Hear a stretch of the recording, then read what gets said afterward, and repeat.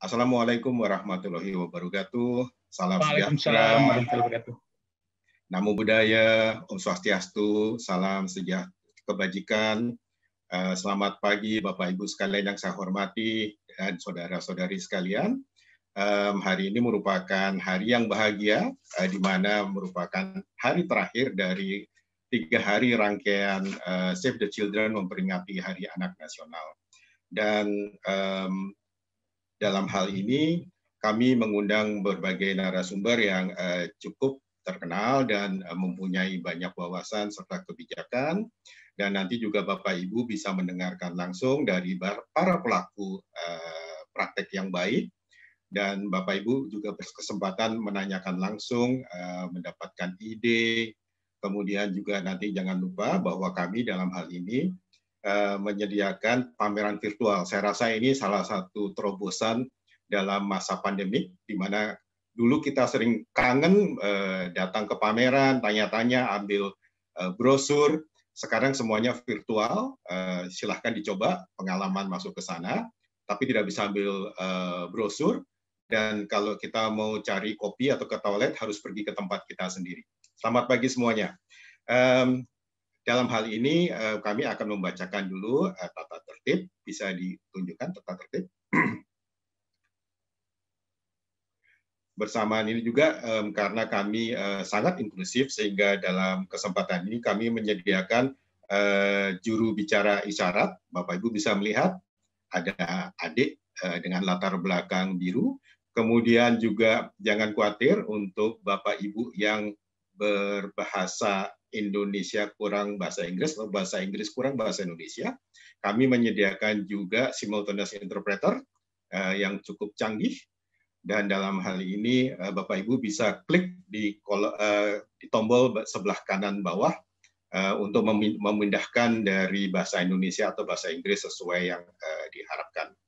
Sesi hari ini akan berjalan sampai jam 4 sore, di mana di pagi pagi ini kita akan mendengarkan uh, tausiah dari Profesor Dr.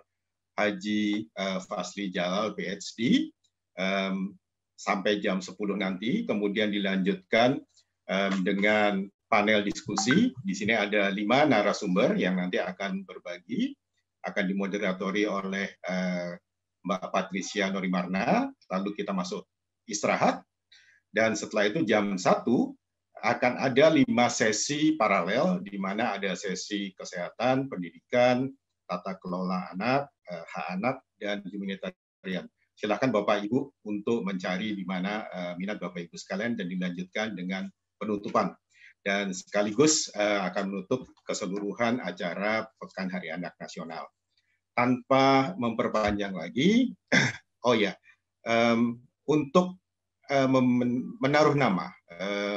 Kadang kalau kita di eh, virtual begini, nama kita sering apa sering beragam. Jadi boleh minta tolong kepada Bapak Ibu bisa merename namanya nama underscore lembaga.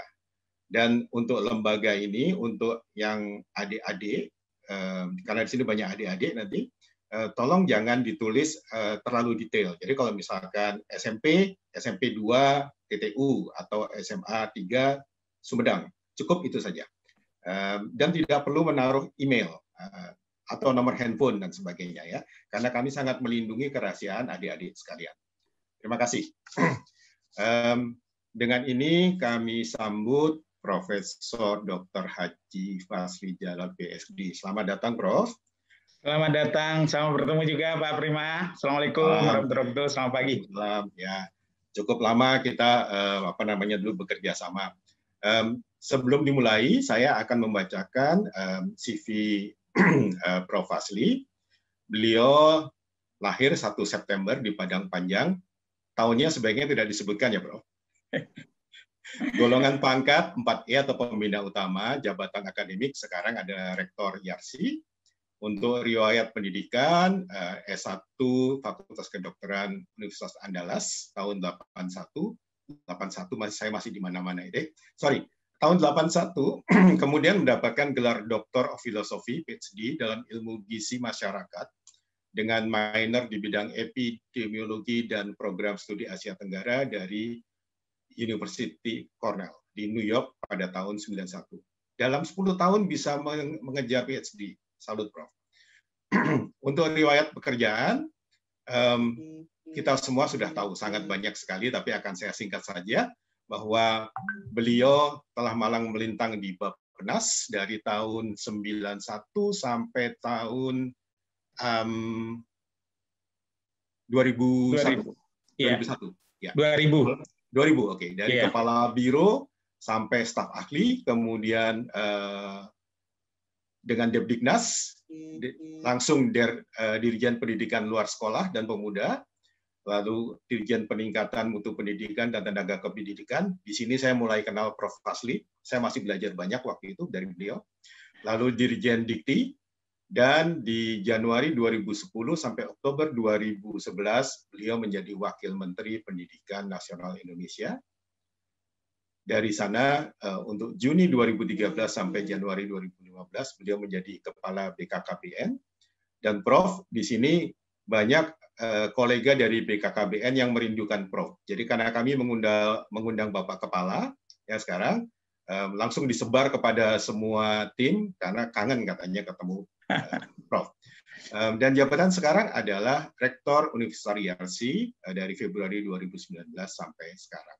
Beberapa penghargaan, tanda kehormatan Bintang Mahaputra Utama dari pemerintah Indonesia, penerima pertama Henry Kaufman Prize dari Institute of International Education tahun 2011. Kebetulan saya juga di IIE Pak dari 2016, jadi yeah. Bapak lebih dahulu. Leadership Award in Higher Education dari Asia Pacific Academic Consortium for Public Health Honolulu tahun 2010. Kemudian dari Bank Dunia diakui ini ya tahun 2001 Work of Excellence Award dan the most outstanding alumni of the past 30 years dari Kanada World Youth Montreal Kanada tahun 2001. Impresif, Prof. um, dan dalam kesempatan ini, Bapak Ibu, um, kemarin kami sempat negosiasi sebentar dengan Prof. Biasanya keynote speaker itu um, hanya memberikan apa namanya keynote-nya, um, lalu sudah jadi karena banyak yang ingin mendengar tausiah dan kebijakan Prof, kami menyempatkan nanti 10 menit akan ada tanya jawab yang akan dipandu. Oke. Terima kasih dan bersama Baik. ini kami berikan eh, kesempatan kepada Prof Fasli. Terima kasih Pak Prima, terima kasih kepada Save the Children Indonesia, Yayasan Tunas, dan juga kepada para hadirin hadirat, terutama rekan-rekan saya eh, dari BKKBN dan jajarannya maupun dari para guru dan juga anak-anak kita yang hadir ya. Uh, saya diberi tugas untuk menyampaikan tentang apa sih hak anak dan bagaimana kita menjaga agar dengan terpenuhnya hak anak tersebut tumbuh kembang mereka itu bisa terjamin. Nah, karena itu memang sebetulnya perjuangan hak anak ini sudah dimulai oleh beberapa ahli di Eropa tahun 20-an ya. Kemudian eh, mengental dan menjadi sebuah kesepakatan dalam deklarasi human right ya tahun 48 kemudian eh, PBB kepala negara PBB akhirnya berketetapan bahwa anak ini demikian penting. Semua kepala negara anggota PBB itu bersidang di New York dan memutuskan bahwa ada deklarasi tentang hak anak ini atau konvensi tentang hak anak ini ya, pada tahun 89 dan kita bagian dari penanda tangannya presiden kita waktu itu dan kemudian diratifikasi ke dalam Kepres nomor 3697 apa yang kita jaga adalah hak hidup, tumbuh kembang, hak berpartisipasi dan perlindungan. Nah, berbagai undang-undang eh, masuk undang-undang dasar kita perbaiki salah satu alasan mengamendir undang-undang dasar kita adalah untuk memasukkan hak azazi manusia di mana pada pasal 28B poin 2 itu setiap anak berhak atas kelangsungan hidup, tumbuh dan berkembang, serta berhak atas perlindungan dari kekerasan dan diskriminasi. Ini adalah bahasa undang-undang dasar kita. Jadi ini bukan lagi di level undang-undang, bukan hanya kesepakatan internasional, tapi terpatri dalam undang-undang dasar kita. Kemudian tentang perlindungan anak juga ada undang-undang ya yang dilahirkan pada tahun 2014 merupakan pembaruan dari uh, apa uh, perubahan atas Undang-Undang Nomor 23 tahun 2002 di sini diulang kembali bahwa perlindungan anak adalah segala kegiatan untuk menjamin dan melindungi anak dan hak-haknya agar dapat hidup, tumbuh, berkembang, dan berpartisipasi secara optimal sesuai dengan harkat dan martabat kemanusiaan serta mendapat perlindungan dari kekerasan dan diskriminasi. Jadi makin kokoh eh, dasar daripada tentang bagaimana Indonesia sungguh-sungguh mementingkan dan melindungi hak anak ini dan berupaya untuk memenuhinya. Dan kemudian di salah satu eh, peraturan Menteri Kesehatan di sini dielaborasi lagi ya bahwa kalau poin dua itu pemantauan pertumbuhan, perkembangan dan gangguan tumbuh kembang anak sebagaimana dimaksud oleh pasal di atasnya dilakukan untuk meningkatkan kualitas tumbuh kembang anak usia dini dan kesiapan anak memasuki jenjang pendidikan formal ya. Dan kemudian tentu pemantauan pertumbuhan dan perkembangan dan gangguan yang mengganggu tumbuh kembang mereka sebagai yang dimaksud oleh ayat 2 tadi ayat satu diarahkan untuk meningkatkan status kesehatan. Jadi ingat status kesehatan gizi kognitif mental dan psikososial anak. Nah, Indonesia bersyukur bahwa ada peraturan presiden yang lebih mencoba melihat anak secara multidimensi atau lebih Uh, multi perspektif atau dalam bahasa kita lebih holistik dan integratif. Maka peraturan presiden pada tahun 2013 nomor 60 dikeluarkanlah bagaimana negara ini mengatur tentang upaya-upaya yang dilakukan untuk pengembangan. Jadi ini bukan pendidikan, pengembangan anak usia dini PAUD uh, holistik integratif. Jadi kalau kita waktu PAUD biasanya sering menyebut PAUD itu adalah pendidikan. Dalam konteks holistik integratif ini, kalau ada yang menyingkat PAUD di depannya, hati-hati ini bukan pendidikannya, tapi pengembangannya, semua aspeknya ya. Jadi untuk itulah Kepres ini dilahirkan.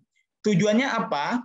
Agar terselenggara layanan pengembangan anak usia dini holistik integratif untuk mewujudkan mewujudkan anak seperti apa yang sehat, cerdas, ceria, dan berakhlak mulia. Ini dulu adalah bahasa yang kami ciptakan waktu saya sebagai Dirjen Pendidikan Luar Sekolah Pemuda membentuk Direktorat PAUD. Pada waktu itu kita sudah membuat ikon bahwa tujuan kita adalah anak Indonesia sehat, cerdas, ceria, dan berakhlak mulia. Nah, kemudian tujuan khusus dari pengembangan anak usia dini holistik integratif ini sebagai manifestasi dari upaya Indonesia di tingkat operasional untuk menjamin hak anak dan menjamin tumbuh kembang mereka, pertama terpenuhnya kebutuhan esensial anak, baik kesehatan, gizi, rangsangan pendidikan, pembinaan moral, emosional, dan pengasuhan, sehingga anak tumbuh dan berkembang secara optimal sesuai dengan kelompok umur. ya. Terlindunginya anak dari segala bentuk kekerasan, penelantaran, perlakuan yang salah, dan eksploitasi di mana pun anak berada. Terselenggaranya pelayanan anak usia dini secara terintegrasi dan selaras antar semua lembaga layanan oleh kementerian mana saja di dinas mana saja di daerah itu terintegrasi dan selaras demi kepentingan terbaik anak itu perlu dijaga. Kemudian terwujudnya komitmen seluruh unsur terkait. Siapa itu? Yaitu orang tua, keluarga, masyarakat, pemerintah, dan pemerintah daerah dalam pengembangan anak usia dini holistik integratif. Ingat ini perpres ya. Jadi eh, semua kementerian wajib melakukan, Pemda juga wajib melakukan. Karena itu dibuatlah gugus tugas, ketuanya adalah Menko Bidang Kesehatan Rakyat waktu itu sekarang itu Menko PMK, kemudian wakil ketua pertamanya Menteri PPN Bappenas, kemudian wakil ketua duanya Menteri Dalam Negeri dan menteri-menteri terkait. Untuk lebih operasional ternyata ini tidak sederhana baru enam tahun, enam tahun sesudah Perpres ini lahir ya, enam tahun sudah Perpres lahir baru keluar peraturan untuk operasionalnya. Karena dalam Perpres itu diminta ada sub gugus tugas, maka berhasil pemerintah enam tahun sesudah Perpres baru melahirkan peraturan Menko bidang Pembangunan Malaysia dan Kebudayaan ya Menko PMK RI tentang sub gugus tugas. Dan saya tidak membuat ketiga-tiganya, gugus tugasnya ada tiga, satu bidang pendidikan anak usia dini, dua bidang kesehatan, tiga adalah bidang perlindungan sosial dan pemenuhan hak-hak dasar, sosial dasar anak-anak. Nah, kita lihat betapa kompleksnya di semua sub gugus tugas ini. Di bidang pendidikan anak usia dini saja, itu semua direktur jenderal terkait ikut ya, dan tidak usah saya sebutkan di sini. Tapi menunjukkan sebetulnya intensi pemerintah cukup kuat. Tinggal pertanyaan besar, konsep ini bisa dijalankan enggak? Akan lebih mudah dijalankan enggak? Karena bahasa koordinasi ini biasanya mudah di mudah disebut-sebut, mudah dikonsepkan, tapi tidak gampang untuk dilaksanakan. Di sini semua dirjen-dirjen yang relevan dan dari dan juga eselon 1 dari badan dan lembaga di luar kementerian uh, dilibatkan. Nah, karena itu uh, gugus tugas ini wajib, ya ini wajib ini, dan kita harus tuntut nanti sekali minimal satu tahun dia harus melaporkan apa yang mereka lakukan kepada presiden ya. Dan untuk itu karena sekarang ini semua informasi pemerintah itu sudah transparan, kita akan tahu nanti dijalankan enggak laporan tahunan ini apakah isinya dan benarkah memberikan eh, kesempatan terbaik pada anak untuk dipenuhi hak-haknya itu. Nah, kita tahu bahwa dalam hak anak tadi, hak hidup, ya jelas ya, hak tumbuh kembang, kemudian hak partisipasi ya, dan hak untuk didengar ya. Nah, kita lihat dalam siklus di kesehatan, saya mulai dengan kesehatan dulu, adalah bagaimana siklus hidup itu mulai dari remaja bersiap-siap Eh, memasuki usia pasangan usia memasuki usia subur atau wanita usia subur kemudian berpasangan kemudian meni, apa eh, menikah ya dan kemudian dari menikah mereka hamil dan kemudian hamil 9 bulan lahir anak sampai 2 tahun 1000 hari pertama kehidupan kemudian sampai balita sampai usia PAUD berikutnya sampai SD sampai anak dan remaja. Nah, masing-masing mempunyai hal-hal yang menjadi tantangan. Tapi untuk kesehatan yang saya uh, sampaikan adalah data tentang kita sudah berhasil menurunkan tiga indikator utama tentang anak kita, yaitu angka kematian neonatum, ya, kemudian angka kematian anak bayi dan angka kematian balita. Nah, kalau kita lihat angka kematian balita kita yang paling atas, yang biru muda, itu sudah turun lumayan ya, turun tapi mulai melandai dan akhir-akhir ini agak agak tersendat-sendat turunnya. Nah, kalau kita lihat angka kematian bayi demikian juga. Turun dasar dulu ya pada tahun 90-an sampai 2000 itu cukup tajam, tapi mulai melandai. Malah ada di mana-mana agak naik dikit gitu ya, kemudian turun tapi tidak terlalu signifikan. Nah, yang agak mencemaskan, pertama data terbaru, ternyata angka kematian neonatum yaitu bayi usia 0 sampai 28 hari, itu ternyata beberapa tahun terakhir ini hampir sama dan ada kecenderungan untuk menaik gitu ya. Nah, waktu kita lihat apa penyebabnya, memang kematian neonatal ini yang agak memalukan untuk Indonesia dan perlu kita serang bersama-sama. Ini adalah karena sejak dari awal mereka mempunyai berat badan lahir rendah di bawah dua setengah kilo. Kemudian gangguan pernafasan karena asfiksia ya karena paru-parunya tidak berkembang dengan baik. Adanya kelainan-kelainan bawaan, adanya sepsis ya, jadi apa keracunan, infeksi yang menyebabkan keracunan pada ini dan adanya tetanus neonatal pada ibu. Nah, kalau kita lihat pada uh, usia uh, bayi itu memang pembunuh terbesarnya masih pneumonia, diare ya itu yang yang sudah jelas spesifik. Dan kemudian banyak faktor-faktor lain yang di kumpulkan aja oleh BPS. Tapi kita harus sadar bahwa pneumonia itu masih menjadi tantangan anak-anak kita, apalagi dengan COVID ini paru-parunya jadi berbahaya, diare ya, kemudian eh, gangguan saluran cerna, dan kemudian eh, berbagai penyakit seperti malaria masih mendera anak-anak kita di NTT, di Malaysia, di Maluku, dan seterusnya. Nah, kemudian untuk balita, itu diare menjadi bagian terpenting, pneumonia juga, demam ya, malaria tetap ya, kemudian difteri walaupun kita sudah melakukan vaksinasi yang masif tapi tingkat vaksinasi kita belum sebaik yang diharapkan. Nah, ini juga berawal dari eh, kondisi ibu kita yang cukup memalukan di mana pada setiap 100 ribu persalinan itu ibu kita meninggal data terakhir itu adalah data 2015 305 orang dari 100 ribu persalinan. Dan ini adalah kematian yang sebenarnya bisa dicegah. Kita mungkin tidak bisa menangkap 305 itu besar atau kecil. apalagi per 100 ribu. Tapi kalau kita bandingkan dengan tetangga kita, di Singapura itu hanya tiga, tiga kematian ibu pada 100 ribu persalinan. Artinya kita 100 kali lebih lebih lebih besar, 100 kali lipat dari angka kematian ibu yang ada di Singapura. Kalau kita bandingkan dengan Malaysia, mereka berada sekitar 18. Jadi kalau 18 hampir kita 20 kali atau 18 kali lipat dari mereka. Jadi inilah hal yang sudah dimulai sejak ibu dan dimulai di remaja sebetulnya dan ini mempengaruhi pada anak dan usia-usia berikut. Nah, kalau kita lihat uh, Riskesdas 2018 itu ISPA memang sudah agak menurun, tapi pneumonia ini adalah 2007, 2013, 2018 ya datanya. Jadi tiga balok ini menggambarkan 2007 yang biru, yang kuning 2013 dan 2018 yang uh, abu-abu. Nah, kita lihat yang abu-abu menurun ISPA lumayan baik ya selain karena lingkungan membaik ya. Kemudian pelayanan kesehatan membaik, pneumonia itu naik. Nah, ini tapi yang agak mencemaskan diare ya. Diare balita itu naiknya berkali-kali lipat ya.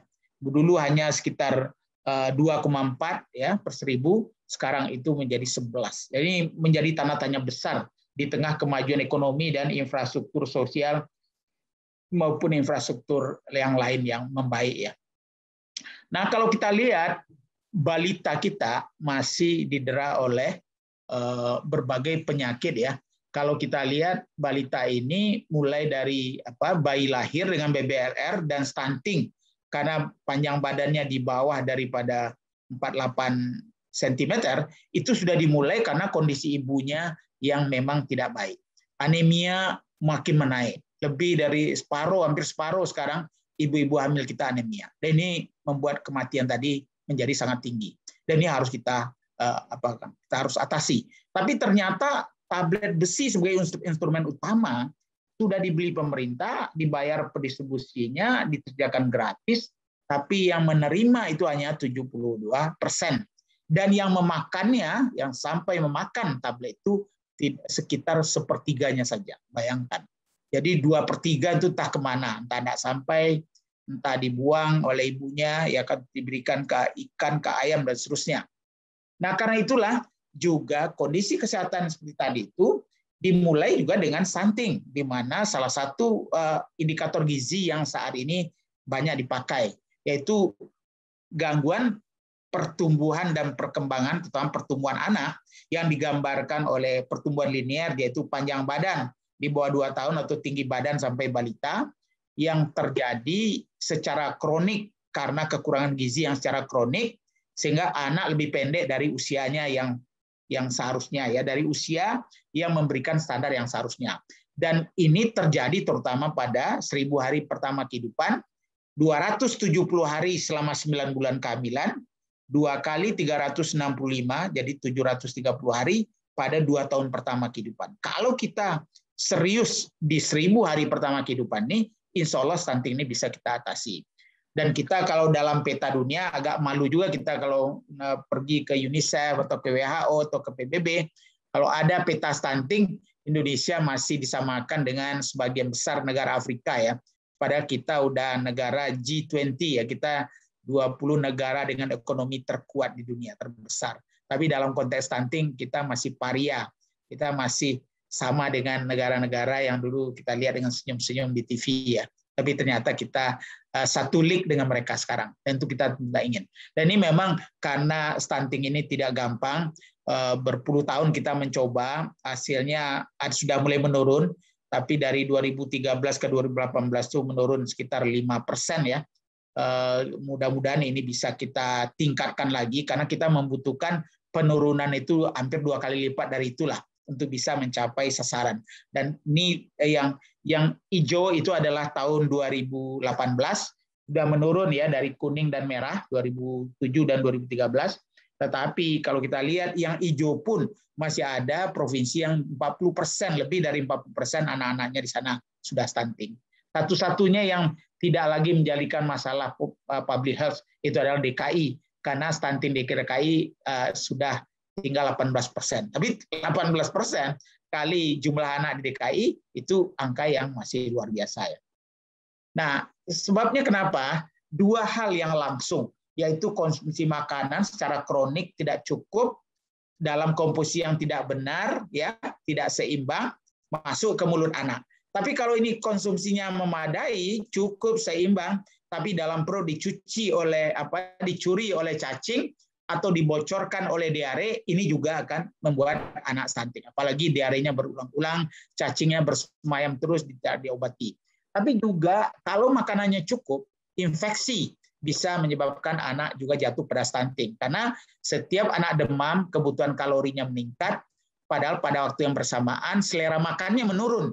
Jadi walaupun makanan ada, tapi dia tidak mau makan, ya. Dan kalau dia makan secara biasa saja, dia paksa-paksa, sama dengan yang biasa tidak cukup, karena setiap dia demam itu kebutuhan kalorinya meningkat, ya. Nah, tentu di sinilah pola asuh menjadi sangat penting. Kita sediakan makanan di rumah, di rumah keluarga-keluarga, berikan dia cash transfer, berikan dia uang membeli beras atau beras belikan gratis, ada telur untuk uh, apa bantuan pangan non tunai, tapi kemudian kita pastikan layanan kesehatan prima, dia punya kartu Indonesia Sehat sehingga kalau dia demam besoknya dia sudah langsung berobat langsung menurun dan di sini peran pengasuhan menjadi sangat penting. Tentu di bawah itu pendidikan ibu, eh, ekonomi keluarga, ya kebijakan pemerintah, ketersediaan pangan dan gizi seterusnya itu menjadi sangat vital. Kenapa ini menjadi penting? Karena tiga dampaknya. Pertama yang yang berat adalah perkembangan otak karena ini menyangkut kognitif, eh, prestasi anak di kehidupannya nanti dan prestasi belajarnya waktu dia sekolah. Tapi stunting ini juga akan mengganggu pertumbuhan massa tubuh dan komposisi tulang kah, otot kah, dan juga kapasitas anak bekerja akan terganggu dan tingkat kekebalannya paling mahal biayanya adalah terjadinya gangguan metabolisme di tubuh anak di mana akibat stunting kemudian dia begitu dia mulai mendapat kemakanan biasa dia dia dia rakus selnya rakus kemudian anak pendek, membesar badannya, gemuk, pendek, dan ini yang biasanya sangat rawan untuk jatuh pada diabetes, obesitas, penyakit jantung, kanker, stroke, dan lain-lain. Jadi dia kalah. Di usia kecil dia kalah, di usia sekolah dia kalah, di usia produktif dia kalah, kemudian menderita penyakit degeneratif yang lama mendera kehidupannya. Nah, ini bagian kiri adalah otak anak yang sempurna, sel-selnya yang digambarkan oleh yang putih itu lengkap dan bayangkan dengan yang kanan ya, yang banyak sel-selnya mati sudah mengkerut karena kehilangan miliaran dari sel-selnya, sinapnya tidak terbentuk dan ini anak yang menjadi tidak potensial. Eh, karena itu kita akan kehilangan eh, IQ poin anak-anak kita itu kira-kira 15 IQ point per anak kali sekitar 7 juta anak Indonesia yang stunting saat ini. Dia akan terlambat masuk sekolah, dia akan juga berkurang kemampuan belajarnya, dan dia juga akan mendera BPJS memberikan pengobatan kepada dampak dari stunting eh, untuk penyakit degeneratif. Nah, karena itu pemerintah punya intervensi, kita punya strategi nasional, presiden, wakil presiden, semua menteri, semua gubernur, semua bupati, sampai kepala desa bersepakat, kita harus tangani. Kemudian semua program-program dikonvergensikan, dilihat, dicatat di mana berapa uangnya, kementerian mana, direktur jenderal mana yang melakukan, dan kita kontrol nanti benarkah itu sampai dan menghasilkan. Kemudian bagaimana dijamin agar pengetahuan masyarakat kampanye ini menjadi sangat penting dan kemudian tentu ketahanan pangan dan gizi dijaga dan data. Dan intervensi-intervensi yang langsung dari sektor kesehatan disebut dengan intervensi gizi spesifik, ini memberikan kontribusi 30% dari upaya tadi. Tapi yang besarnya, 70% adalah intervensi gizi sensitif, ini yang di luar sektor kesehatan. Nah, eh, ini tadi saya sudah sebutkan ya. Nah, karena itu juga kita melihat stunting ini juga mempengaruhi kondisi ya ketahanan anak terhadap COVID dan kalau dia penyakit degeneratif sudah dewasa saat ini yang mereka yang terdampak itu juga banyak sebagai komorbid yang membuat banyak mereka diantar ke eh, ke kuburan ya. Nah, Padahal COVID itu sendiri diperkirakan akan menaikkan stunting itu menjadi sekitar 2 persen gitu ya, 2 sampai dua setengah persen. Jadi karena itu mari kita dukung semua upaya pemerintah, masyarakat, LSM, perguruan tinggi, eh, dunia usaha, eh, organisasi profesi ya semua bahu membahu untuk memberikan intervensi gizi spesifik yang banyak diperankan oleh Kemkes, apakah saja bentuknya tambahan makanan, fortifikasi, eh, peningkatan kemampuan ibu hamil ya, obat cacing ya, jaringan kesehatan nasional, jaminan kesehatan nasional, dan juga bagaimana eh, sensitif, gizi sensitif, mulai dari PUPR untuk air bersih dan sanitasi, parenting yang dilakukan BKKBN bersama Kemdikbud, pendidikan anak usia dini, fortifikasi untuk makanan ya dengan Kemperin dan seterusnya, bantuan sosial oleh Kemsos, semua bahu membahu menjamin agar jangan lagi ada anak yang lahir dengan stunting dan ibu hamilnya kita rawat dengan baik. Dan mudah-mudahan bonus demografi kita bisa tercapai dan Indonesia emas tahun 2045 itu bisa kita raih. Jadi karena itu eh, intervensi utama dari pemerintah adalah eh, apa eh, bagaimana agar germas ini juga menjadi sebuah hal yang sangat penting. Akan masyarakat sehat ini ya di sini yang bahu membahu ini kita lakukan ya mudah-mudahan dah ah, ah, hak anak kita di bidang kesehatan dan gizi ini bisa. Dan anak kita juga kita harus jaga perkembangannya.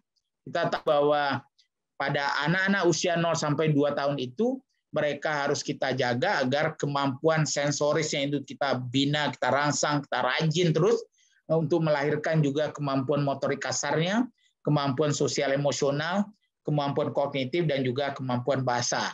Nah, pada usia yang lebih tinggi 3 sampai 5 tahun, kemampuan motorik ini makin kuat, makin aktif anak mengekspresikan bagaimana dia melihat lingkungannya. Kemudian kebugaran mereka mulai agak terbangun ya, karena mereka makin aktif. Kemampuan kognitif mulai mereka melihat hubungan-hubungan dan mempunyai apa namanya pandangan-pandangan yang ada dari pengalaman dirinya dengan lingkungannya Kemudian kemampuan sosial emosionalnya ini menjadi sangat penting. Dia bisa berhubungan dengan eh, kakak adiknya, dengan teman-temannya lebih baik ya. Kemampuan ini juga melahirkan kemampuan bahasa. Dan tentu harapan kita pada usia yang lebih tinggi nanti 6 sampai 8 tahun tentu hal-hal ini menjadi makin ter, ter apa terbantu dan eh, terjamin hak anak atau agar tumbuh dan berkembang terutama berkembang ini dari sudut psikologis ini supaya mereka siap jadi sumber daya manusia yaitu yang sehat, cerdas, ceria dan berakhlak mulia. Nah, kemudian anak memerlukan pendidikan. Dimulai dari PAUD ya. Kenapa PAUD? PAUD mengatakan bahwa kalau PAUD ini kita jalankan itu eh, anak akan lebih siap bersekolah ya. Kemudian angka mengulang kelas di kelas 1, kelas 2 itu bisa menurun. Karena umumnya terjadi itu karena anak tidak siap bersosialisasi. Kalau dia tidak menjalani PAUD langsung masuk SD. Akibatnya kalau ini kita biarkan, putus sekolah makin tinggi. Jadi kalau kita menyediakan PAUD, angka putus sekolah itu bisa kita tekan. Pencapaian wajib belajar bisa kita apa ya? Mutu pendidikan bisa kita tingkatkan. Angka buta aksara muda pada anak-anak yang putus sekolah di usia muda kelas 2, kelas 3 dia udah putus sekolah dan tidak belajar lagi, dia akan menjadi buta huruf. Bayangkan pada usia muda. Padahal umur harapan hidupnya nanti menjadi sekitar 75 tahun misalnya. Jadi betapa gelapnya kehidupan mereka kalau pada usia muda mereka sudah mulai buta huruf dan tidak ada program yang menjangkau mereka. Dan tentu dalam jangka panjang ini memperbaiki derajat kesehatan dan gizi anak. Nah, kita juga melihat bahwa saat ini PAUD kita sudah lumayan untuk anak umur 5-6 tahun. Tapi anak usia 0-2 tahun itu sangat sedikit. Ya, Ini sebetulnya Taman Posyandu itu menjadi sangat penting ya.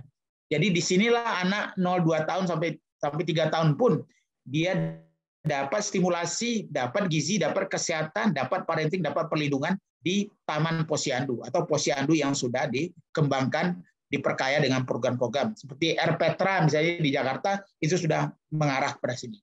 Nah, kita tahu juga betapa yang tantangan kita ke depan adalah anak-anak usia 3-4 tahun yang di bawah yang yang biru yang memang apa cakupan atau akses dia untuk menjalani PAUD itu masih sekitar 20-an persen ya.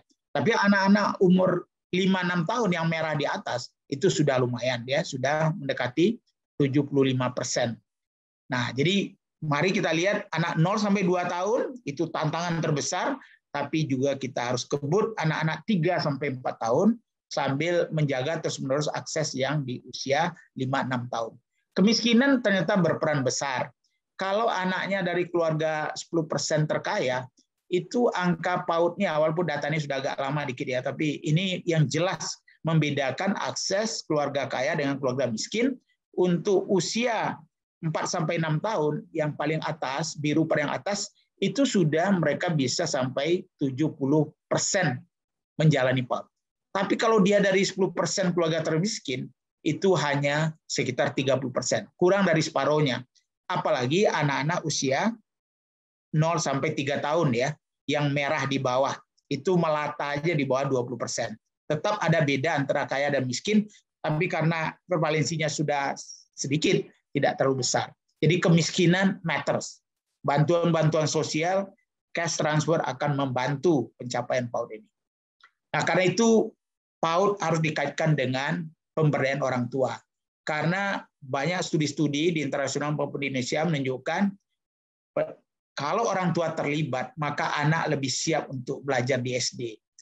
Heckman, pemenang Nobel Ekonomi ya, yang perhatian pada PAUD, mengatakan dukungan pada orang tua dapat memberikan dampak positif jangka panjang untuk mereka. Kebutuhan ini tidak hanya untuk keluarga miskin, karena kemampuan Eh, yang rendah untuk pengawasan tidak hanya terjadi di keluarga miskin, tapi juga keluarga-keluarga yang tidak miskin karena ketidaktahuan atau ketidakpedulian atau penelantaran pada anak-anaknya.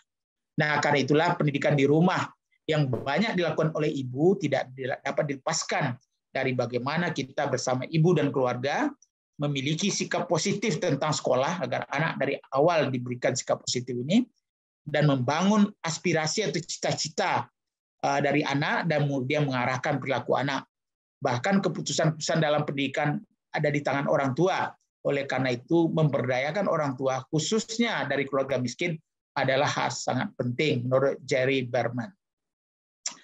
Nah, agar kita bisa menguatkan dampak PAUD, maka integrasi dengan kesehatan dan gizi menjadi penting. Berliner menunjukkan bahwa akses layanan kesehatan dan gizi menjadi salah satu faktor yang secara signifikan berpengaruh pada kesenjangan capaian pendidikan di antara anak-anak miskin dengan anak-anak yang relatif dari keluarga mampu. Jadi kalau kita bisa mengintegrasikan gizinya kita perhatikan kesehatan beliau walaupun dia miskin tapi aksesnya kepada PAUD bisa lebih baik. Banyak negara layanan PAUD terintegrasi dengan layanan kesehatan sehingga hambatan tumbuh kembang anak dapat diatasi secara bersamaan dan kita sedang melakukan itu dengan pengembangan anak usia dini holistik integratif tadi itu. Mudah-mudahan ini bisa kita realisasikan. Karena itulah program kesehatan untuk anak dan orang tua yang terintegrasi dengan PAUD dapat menurunkan kecemasan ibu dan bapak, meningkatkan kemampuan parenting, dan kemudian kualitas kesehatan anak. Nah, mudah-mudahan apa yang menurut Heckman penting, kunjungan ke rumah yang dilakukan oleh petugas kesehatan di Jepang ini menjadi SOP ya, di Amerika menjadi SOP, di kita masih terbatas ya, karena kita masih berhubungan melalui posyandu. Hanya dalam hal-hal tertentu aja. Tapi di sini anak normal pun dari si kesehatannya tetap dijaga agar kunjungan reguler kepada orang tua itu tetap dilakukan. Nah, Bapak dan Ibu, bagian terakhir dari presentasi saya ini saya uh, muncul dengan Human Capital Index, sebuah indikator baru yang diperkenalkan oleh Bank Dunia tahun 2019 yang lalu, uh, 2018 yang lalu ya, di Bali ya pada saat semua Menteri Keuangan dunia bertemu, kemudian beberapa tokoh kunci dari negara-negara maju dan uh, apa Presiden Bank Dunia, uh, kemudian Direktur dari IMF mencanangkan bahwa indeks pembangunan manusia atau IPM tidak cukup untuk memprediksi apa yang terjadi kemungkinan di depan pada anak-anak kita. Mereka memperkenalkan yang disebut dengan Human Capital Index. memang komponennya ada tiga, yaitu survival, yaitu kemungkinan anak lewat usia lima tahun, jadi survive sampai lima tahun.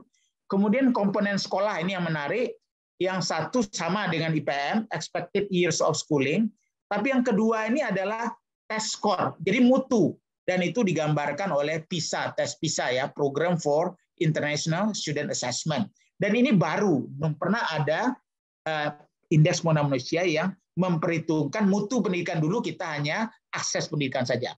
Dan untuk topik kita saat ini juga yang penting adalah health ternyata di samping survival rates untuk umur 15-60 tahun, tapi juga berapa persen anak-anaknya yang tidak stunting atau yang normal.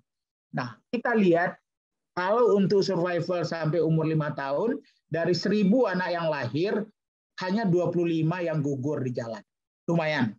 Kalau expected year of schooling kita lumayan, kita hampir sama, kira-kira 12 tahun lebih. Karena kita udah wajib belajar 12 tahun ya. Tapi kalau test score itu kita memalukan ya. Besar sekali bedanya dengan negara-negara tetangga kita. Dengan Vietnam yang pendatang baru itu kita lebih dari 100 bedanya test score-nya. Padahal negara-negara maju itu rata-rata tes skornya hanya 500. Vietnam sudah setara dengan mereka. Singapura yang terbaik di dunia 581. Jadi karena itulah kita sekarang kenapa hak anak jangan sampai dia stunting, hak anak jangan sampai dia belajar tapi tidak bermutu, schooling but not learning kata orang. Itu jangan sampai terjadi. Nah, kalau kita lihat kalau ini kita biarkan, hanya 53% dari potensi produktivitas anak kita yang lahir saat ini yang bisa direalisasikan. Coba bayangkan, separuh cuman berapa besarnya kerugian kita kalau ini kita biarkan. Karena itu hak anak tadi, terutama dalam kita tadi stuntingnya, kemudian hak untuk eh, bagaimana dia dapat pendidikan yang bermutu dan tentu pelayanan kesehatan dan seterusnya menjadi mutlak. Nah, karena itu kalau kita lihat bagaimana dengan mutu pendidikan, memang digambarkan kita ikut program for International Student Assessment sejak tahun 2000 sampai 2018 ya yang dilaporkan 2020 ini. Yang di atas dari panel yang bagian kiri itu adalah yang membaca di tengah matematika, di bawah sains ya. Yang di atas itu adalah rata-rata titik-titik yang di atas dari tahun 2000 sampai 2020 itu adalah yang eh, rata-rata negara maju ya, eh, OECD. Indonesia melata di bawah ya, di sekitar 370-an sampai 400 dan tidak maju kita malah ada kecenderungan mundur lagi. Jadi bayangkan dari 2000 sampai 2020 ternyata tidak maju kita ini. Dan saya termasuk orang yang bertanggung jawab juga karena saya pernah menjadi lama jadi birokrat yang ngurus pendidikan di Bappenas dan di Eh, Kementerian Pendidikan. Tapi inilah faktanya. Dan angka sedihnya orang mencemehkan kita. Anak-anak Indonesia itu schooling but not learning. Dia bersekolah tapi tidak belajar. Nah karena itulah kalau kita bandingkan bagaimana posisi Indonesia yang merah di bawah ya, sementara beberapa negara yang lain tetangga kita itu tes skornya jauh lebih kuat karena itu human capitalnya lah jauh lebih tinggi dan kalau kita lihat yang di panel ini perhatikan ke warna uh, yang abu-abu itu adalah uh, siswa yang memiliki kemampuan di bawah level 2. Di bawah level 2 ini dari 6 level yang dibuat oleh PISA ini, kalau di bawah level 2 itu berarti dia tidak bisa uh, bersaing dalam ekonomi modern. Dia akan tertati-tati di sektor-sektor informal saja. Dan anak kita 72 persen berada di sana. Ya Thailand separohnya ya, tapi kalau kita lihat Vietnam boleh katakan nggak ada, Singapura hanya 2 persen. Jadi inilah tantangan kita yang kita tidak biarkan. Jangan anak-anak kita kita telantarkan. Dan ini juga kita melakukan tes eh, PISA eh, PISA model Indonesia untuk anak Indonesia namanya Aksi Assessment Kinerja Siswa Indonesia dan hampir sama bahwa semua kategori yang kurang artinya dia baik, sedang, dan kurang. Dan kurang di matematika itu 77 persen, kurang membaca agak lumayan, separuhnya, dan kurang dalam sains adalah 73 persen. Dan ini juga mempengaruhi uh, literasi di orang dewasa yang juga cukup mencengangkan ini. Jadi karena itulah cara kita jangan dia hanya sekolah, dia harus belajar, dia harus berpikir dengan kecanggihan berpikir tingkat tinggi. Karena itu dari menghafal, dia harus memahami, dia harus mulai menganalisa, dia harus mulai mengevaluasi, dia harus mampu melakukan kreasi. Nah, kalau dia berada di level-level bawah, dia akan digantikan dengan gampang oleh komputer nanti oleh machine learning ya dan oleh robot. Tapi kalau dia di atas berpikirnya, dia akan tetap survive, dia akan tetap berjaya apa pun kemajuan teknologi, tapi karena kreativitas dan inovasi dia sebagai manusia, apalagi human touch-nya yang tidak tergantikan oleh robot. Sekolah sigap, guru hebat, orang tua bijak, mudah-mudahan anak sehat, cerdas, ceria, dan berkarakter atau berakhlak mulia. Saat terakhir saya putarkan sedikit uh, apa video pendek. Have you ever wondered if children have rights? Every person on the planet has rights, and so does every child. Child rights mean that we have the right to everything that helps us be healthy and happy nutrition and good health, good schooling, freedom of expression, and protection from anything that may be harmful. Every child has the right to good health care and nutrition. It does not matter if one is a boy or a girl. Every child has the right to education. It does not matter who we are or where we come from. Each one of us should be able to complete school Each one of us has the right to protection, which means that we need to be safe from all sorts of violence, whether at school or the street or even at home. Just because we are children does not mean that our opinions can be silenced. Only we know what it is to be children. It is everyone's responsibility to ensure that every child has the right to survival, development, protection, and participation. We deserve to be healthy, happy, and full of hope. And we can't do it alone. You made a promise to ensure every right for every child 30 years ago. What are you doing to keep the promise today? Baik, jadi itulah mari kita pertanyakan pada diri kita kalau semua kepala negara berjanji 30 tahun yang lalu setiap anak akan mendapatkan haknya apa yang kita pribadi-pribadi sudah kita perankan untuk memastikan setiap anak mendapatkan haknya. Terima kasih. Assalamualaikum warahmatullahi wabarakatuh. Waalaikumsalam. Terima kasih banyak Prof. Sangat sangat um, mencerdaskan kita semuanya satu hal yang selalu saya dapat dari Prof sejak saya perkenalan awal adalah satu hal. Bagaimana yang sulit bisa dimudahkan oleh Prof. Tidak mudah orang pintar membawakan uh, sesuatu yang sulit menjadi mudah untuk orang awam. Um, jadi kalau tadi saya catat banyak sekali, um, mungkin uh, poin-poin saja bahwa tumbuh kembang anak itu tidak boleh melupakan orang tua.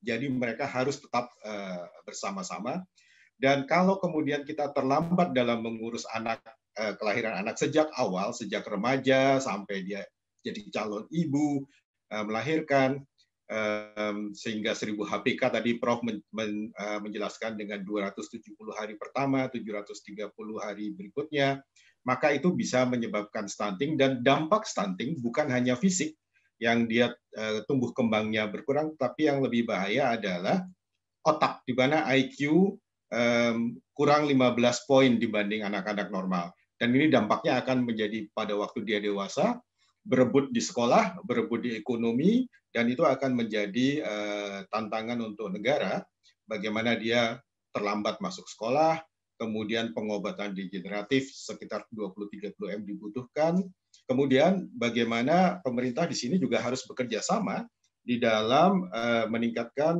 untuk gizi dan kesehatan, bukan hanya gizi.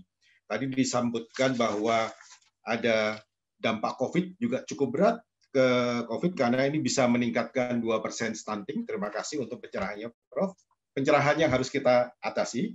Dan tadi tidak lupa disampaikan begitu dia masuk PAUD, bagaimana manfaat PAUD itu penting karena kesiapan anak untuk menuju sekolah formal berikutnya. Dan yang untuk informal bisa dikembangkan Taman Posyandu.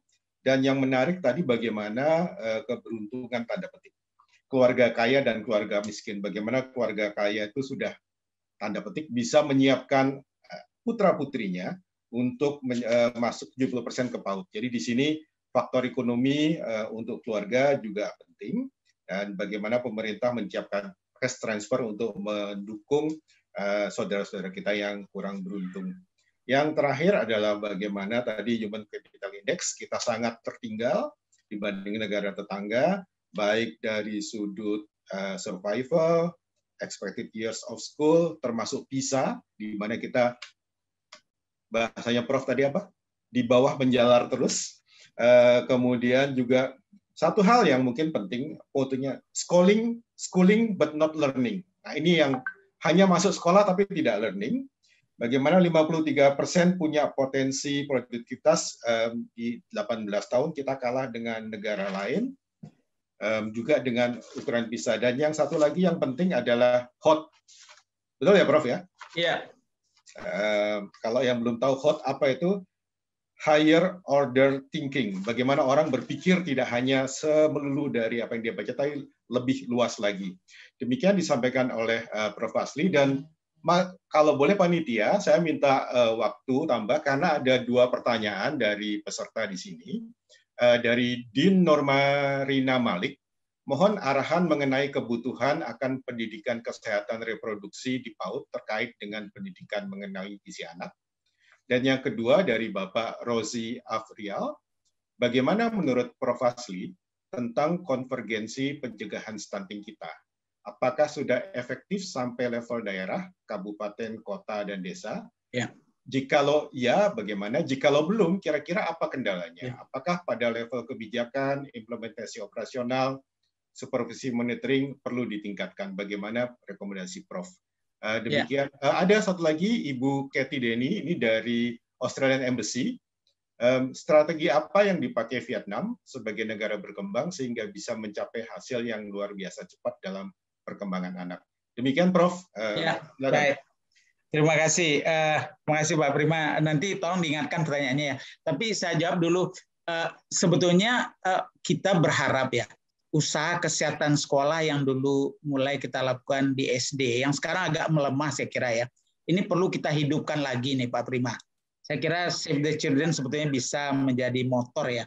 Karena resources ada, dana bos ada, guru ada, murid ada, orang tua ada, waktu ada masalah banyak, solusi sebetulnya bisa.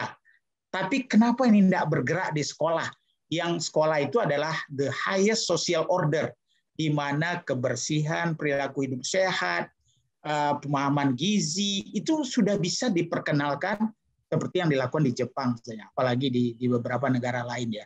Jadi saya kira eh, di sini kalau UKS-nya kita hidupkan nanti, nah komponen nanti kesehatan reproduksi pada anak usia dini tentu dengan bahasa mereka ya eh, bagaimana mereka mengenal perbedaan jenis kelamin dan dengan dengan tata cara anak-anak sesuai dengan umurnya, pemahaman dia, kita udah bisa memperkenalkan konsep-konsep kesehatan reproduksi secara sederhana.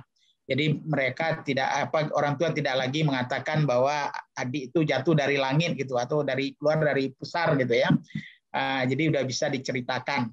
Jadi saya kira uh, pertanyaan ini sangat penting dan mari kita coba mencari cara-cara. Sudah ada bentuk-bentuk cash flow pada usia usia dini uh, dimulai dulu di SD ya, tapi kemudian karena PAUD ini juga adalah formative years, pertama di TK, ini bisa kita mulai juga di sana. Nah, kemudian konvergensi. Konvergensi uh, ya memang ini tantangan. Indonesia salah satu negara yang sangat canggih buat perencanaan ya kalau dokumen-dokumen perencanaan kita itu world class ya. Saya ingat dulu waktu saya di Bappenas tahun awal 90-an, saya diundang dua kali ke Vietnam menjadi konsultan mereka untuk pembangunan mereka, Pak Prima. Jadi mereka membuat, mau meniru repelita kita. Jadi eh, kami eh, beberapa orang eh, bertemu dengan para menteri dan gubernur mereka menceritakan bagaimana Indonesia membuat repelita. Kemudian dia minta dokumennya dan buku repelita itu uh, buku buku sektoral, buku buku satu, buku dua tuh di atas 60 salaman, kemudian 27 kabupaten provinsi ya. Dia minta semua Pak Prima. Dia terjemahkan sendiri. Demikian sungguh-sungguhnya. Jadi Ibu Kati salah satu keseriusan mereka ini eh, Vietnam ini luar biasa. Kalau dia ingin berbuat sesuatu, dia bersatu padu karena dia di bawah rezim sosial ya, eh, rezim komunis lah ya. Eh, dan tidak ada istilah balelo itu semua wajib patuh dan ini instruksi dari atas sampai ke bawah. Tetapi para pelakunya itu melakukan dengan serius. Perencanaan mereka benahi, implementasi mereka eh, siapkan dengan baik, best practice mereka tiru, lessons learned dari kegagalan tempat lain mereka dapatkan. Jadi masalah kita untuk stunting konvergensi sekarang eh, di perencanaan nasional kita udah oke. Okay. Semua kementerian kalau dia mau bermain di stunting dia harus mendefinisikan di bagian apa apakah dia di spesifik atau di sensitif, di komponen apa, berapa biayanya untuk menjangkau daerah mana saja, berapa orang. Dan itu di tagging oleh Bappenas dan Keuangan.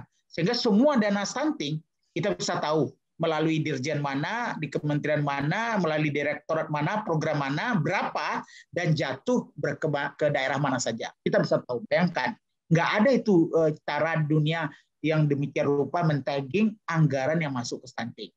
Tapi kalau ini sudah masuk ke dinas-dinas, nah di dinas sudah mulai lebih baik koordinasi oleh Bapeda dan Sekda. Sekda waktu perencanaan penganggaran dan Bapeda pada waktu programming dan implementasi. Tetapi tantangan terbesar kita adalah di desa nih Pak Prima. Desa yang 75 ribu ini.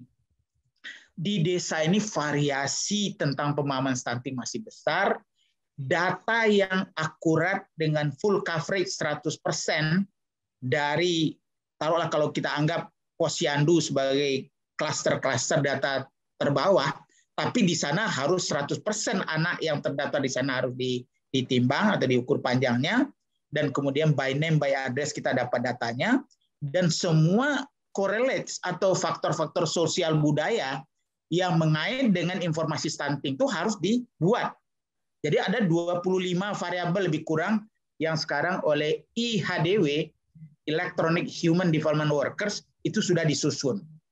Nah, kalau ini terjadi, akurat, timely datanya, jadi betul-betul sebelum perencanaan musrem apa rembus stunting desa, kemudian dari sana naik ke musrembang desa, baru dari sana naik ke tingkat kecamatan sampai ke dinas, tantangan kita tidak lagi di pusat, tidak lagi di provinsi. Ya provinsi memang masih ada lah ya beberapa tapi yang paling penting adalah kabupaten yang sudah mulai terorkestrasi, tapi desa, desa tantangan besar, manajemen data, pengolahan data, menjadikan data sebagai evidence untuk perencanaan, dan perencanaan yang jelas. Jamban ada 80 yang belum punya dari dana desa berapa, diusulkan ke provinsi berapa, eh ke kabupaten berapa, dari DAK pusat dari PU berapa, dari APBD kabupaten sendiri berapa? Dan dalam berapa tahun 80 itu sudah harus dapat. Dan kalau itu kita lakukan dalam 2-3 tahun, saya kira semua yang membutuhkan itu bisa kita capai. Dan konvergensi tidak lagi main-main karena yang dibutuhkan oleh keluarga-keluarga yang punya komponen atau punya uh, ibu hamil, punya anak baru lahir dan menyusui sampai baduta tadi atau seribu hari tadi, itu program jatuh ke mereka secara konvergen dari program spesifik maupun program sensitif dan itu akan membuat leverage untuk menurunkan stunting dan cepat insya Allah bisa kita capai. Tapi ini memang tantangan besar Pak Berima, 75 ribu desa di 17 atau di taruhlah 4 ribu kepulauan yang berpenduduk gitu ya, yang dengan segala faktor sosial, ekonomi, budaya, infrastruktur yang sangat berbeda-beda. Tapi saya kira it can be done dan kita harus optimis Indonesia bisa melakukannya. Terima kasih. Assalamualaikum warahmatullahi wabarakatuh. Waalaikumsalam. Masih ada tiga pertanyaan sebetulnya, Prof. Tapi mohon maaf dengan keterbatasan waktu eh, para Bapak Ibu semua untuk keaktifannya. Eh, terima kasih kami sampaikan kepada diluangkannya waktu Profesor Fasli again dengan kesederhanaan, kehambelan beliau kita semua belajar gitu ya, belajar dan uh, semua semoga semua ini dapat mencerdaskan kita semua untuk mendukung uh, tumbuh kembang anak Indonesia ke depan. Dengan ini Amin. kami tutup. Wassalamualaikum warahmatullahi wabarakatuh. Waalaikumsalam. Terima kasih, Bro. Terima kasih banyak Pak Prima dan teman-teman semua. Ya, bersama ini juga uh, lanjut kami uh, lanjutkan untuk diskusi panel berikutnya, di mana sudah um, sedia lima narasumber yang ada. Dan dengan ini kami mengundang uh, Mbak Patricia Norimarna untuk dapat mengantarkan dan saya mohon diri pamit dari um, acara ini. Terima kasih, selamat pagi.